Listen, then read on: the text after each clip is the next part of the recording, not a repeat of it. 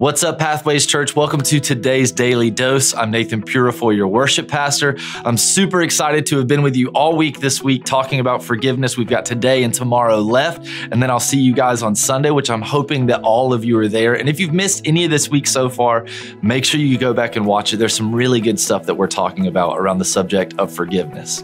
Now, today, I want to talk about holding on to offenses, being offended and holding on to it. First, I just want to tell you it's not worth it. Whatever the offense is, it's just not worth holding on to it.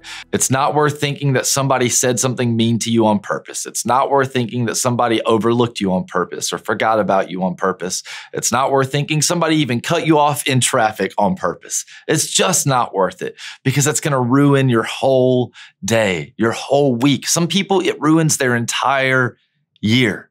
And I've been that person. I've been that person that's held on to offenses that have ruined my year. This is what happens when we hold on to offenses. Somebody says something mean to us, and we take this little plank, we take this little image of whatever they said, and we put it in the ground and we refuse to move it.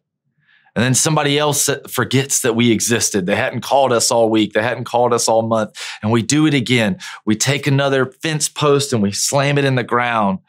And after one offense, after another offense, after another offense, eventually we have this barrier built around us between us and the world around us. We've taken offenses and we've built a fence. We separate ourselves because we're angry, because we're bitter, because there's some shame inside of us, because there's some guilt inside of us. Whatever it is, we're offended and we're separating ourselves from people. Now, some of those offenses are real. Some of those offenses are deep. Some of those are about something that somebody did to us in our family years and years ago. Some of those are about an abuse that we went through or a trauma that we experienced. But it's important to start removing these fence posts. Start reconnecting with people outside of yourself. The body of Christ operates best when it's connected. And it's hard to be a connected member of the body of Christ when we're surrounded by a barrier that keeps people out.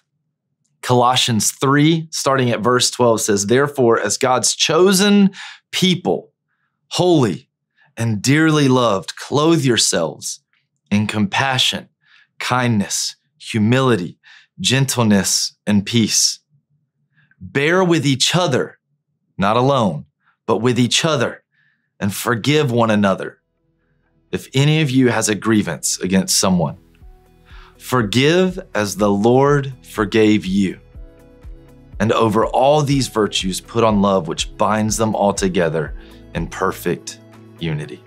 There's so much in this scripture, in this passage, talking about how we need to be connected to other people, to bear with each other and forgive one another and have these qualities that are bound together by love in perfect unity. So let's start taking down our barriers, start taking down our offenses one at a time, and let's forgive each other. Thank you guys so much for hanging out with me today. Let's come back for one more of these talks about forgiveness tomorrow.